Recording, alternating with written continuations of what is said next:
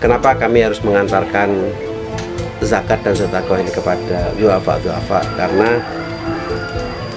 kewajibannya orang yang mampu itu mengeluarkan zakat dan sodako bukan dimintai.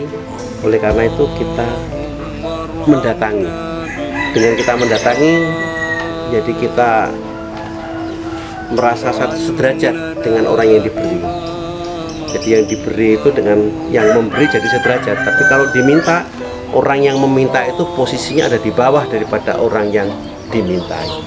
Harus diantar selama bisa mampu tenaga kita mampu kita mengantarkan bukan didatangi.